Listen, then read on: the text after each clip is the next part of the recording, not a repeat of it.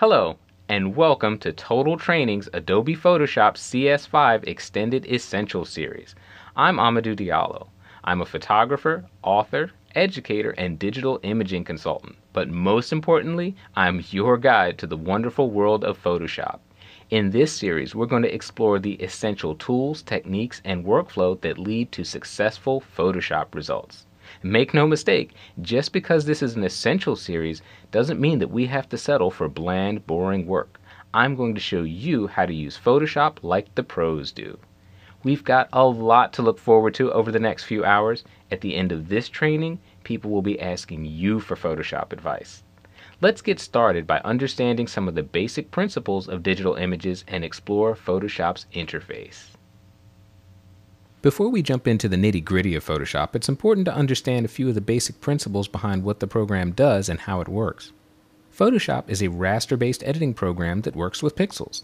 If you're completely new to Photoshop, your first question may be well, what's a pixel? I can explain this much better with an image on screen, so I'm going to take this opportunity to open up a file. And you can do the same thing.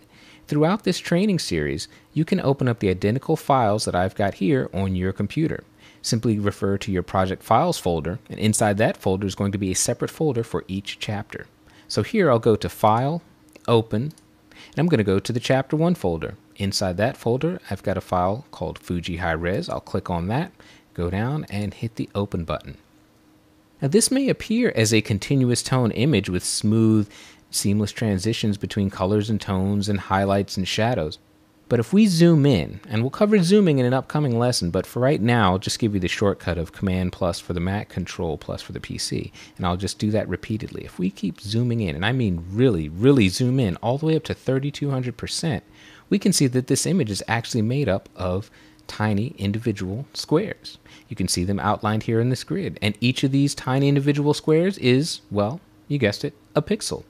If you don't see a grid overlay on your screen, it may be that your video card doesn't support this feature. In any event, however, you'll still be able to see the outlines of individual pixels at this high magnification level. So pixels are the building blocks, the fundamental building blocks of every image that we're going to be looking at in Photoshop. Pixels also have a fixed size. You cannot take a pixel and make it bigger. You cannot take a pixel and make it smaller. You can add pixels to an image and you can take pixels out of an image, but they remain a constant fixed size. Notice also that in the pixels here, you can see that each one has a slightly different color. You can see some have a little more of a cyan or blue, some have a little more magenta, some veer a little bit towards purple, and taken as a whole, these individual discrete colors combine to form our continuous tone image. So if I zoom back out, again on the Mac I'll do Command minus on the PC, Control minus. If I zoom back out to a more reasonable viewing level, we can see that grid of individual and distinct pixels forms a smooth continuous tone image. Now pixels are also very important because they determine the resolution of an image. And to find out more about that, we're going to take a look at the image menu. So I'm going to go up here to image, image size, and let's find out some information about this image. Here at the top under pixel dimensions, you can see we've got a width of 1600 pixels and a height of 1218 pixels. So left to right, 1600 pixels, top to bottom, 1218. That combination of pixels gives us a file size under pixel dimensions at the top of 5.58 megabytes. So that's how big a file is, and the file size is determined by the number of pixels in the image. I'm going to press return just to invoke the OK button. So in this image, you can see with that amount of pixels, and we're viewing it now at 100% or at, actual size, the image spills out beyond the constraints of our document window. Even if I scroll around here, we can see that it's impossible to fit the entire image within the small area of our document window. By the way, I'm holding down the spacebar on the keyboard while I click and drag to move this image around. That temporarily activates the hand tool. Let's contrast that with another image. I'm going to go back up to File, Open, back into our Chapter 1 folder. This time I'm going to select Fuji Low Res. I'll just hit the Open button with the return key. Now, same image, shot of Mount Fuji, early morning, but let's go up to the image menu and see what is different about this file. So we go to image, image size.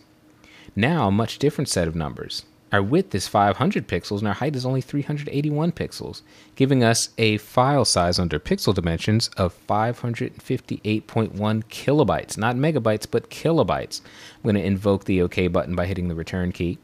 So we have a much smaller image now. This image has less resolution. It has 500 pixels left to right versus 1600 pixels in the previous image.